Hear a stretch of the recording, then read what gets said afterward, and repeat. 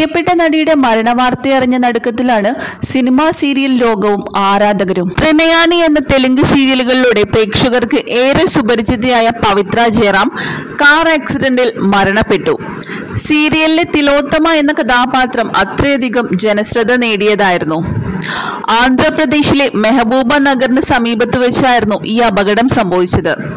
പവിത്ര ജയറാം സഞ്ചരിച്ചിരുന്ന കാർ നിയന്ത്രണം വിട്ട് ഡിവൈഡറിലിടിച്ച് തുടർന്ന് ഹൈദരാബാദിൽ നിന്നും വനപർത്തത്തിലേക്ക് വരികയായിരുന്ന ബസ് കാറിന്റെ വലതുവശത്ത് ഇടിക്കുകയും ആ ഭാഗത്തുണ്ടായിരുന്ന പവിത്രയ്ക്ക് ഗുരുതരമായ പരിക്കേൽക്കുകയുമായിരുന്നു.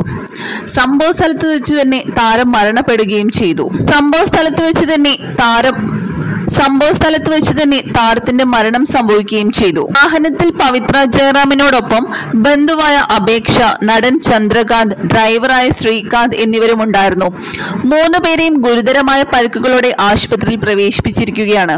കർണാടകയിലെ മാണ്ഡ്യ ജില്ലയിലെ ഹനഗരയിലേക്ക് മടങ്ങുന്നതിനിടയിലാണ് ഈ അപകടം നടക്കുന്നത്.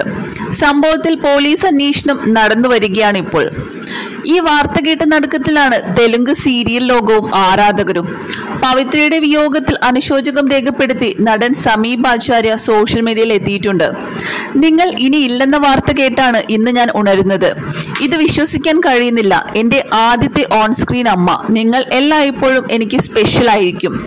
തെലുങ്ക് സീരിയലുകൾക്ക് പുറമെ കന്നഡ സീരിയലുകളിലും പവിത്ര സജീവ താരത്തിന്റെ അപ്രതീക്ഷിത മരണവാർത്ത അറിഞ്ഞ് പൊട്ടിക്കരയുന്ന ഭർത്താവിനെയും മറ്റു ബന്ധുക്കളെയും ആശ്വസിപ്പിക്കാൻ പോലും സാധിക്കുന്നില്ല. എല്ലാവരോടും ഒരുപോലെ സ്നേഹത്തോടെ പെരുമാറുന്ന ഒരു സ്വഭാവമായിരുന്നു പവിത്രയുടേതെന്ന് എല്ലാവരും പറയുന്നുണ്ട്. ഇത്ര ചെറുപ്പത്തിലെ ഈ ഇത്ര ചെറുപ്പത്തിലെ പവിത്രയ്ക്ക് ഇങ്ങനൊരു അപകടം സംഭവിച്ചതിന്റെ വേദനയാണ് ഇപ്പോൾ കുടുംബാംഗങ്ങൾക്കും സുഹൃത്തുക്കൾക്കും എല്ലാവർക്കും. തെലുങ്ക് കന്നഡ തമിഴ് തുടങ്ങി നിരവധി ഭാഷകളിൽ സജീവമായിരുന്നു പവിത്ര ജയറാം എന്ന താരം. പവിത്രയുടെ മരണവാർത്ത അറിഞ്ഞ് നിരവധി താരങ്ങളും അതുപോലെ നിരവധി ആരാധകരുമാണ് സോഷ്യൽ മീഡിയാസിൽ ആദരാഞ്ജലികൾ അർപ്പിക്കുന്നത്. ദേശീയ മാധ്യമങ്ങൾ ഉൾപ്പെടെ പവിത്ര ജയറാമിന് അനുശോചനം അറിയിച്ചിട്ടുണ്ട്.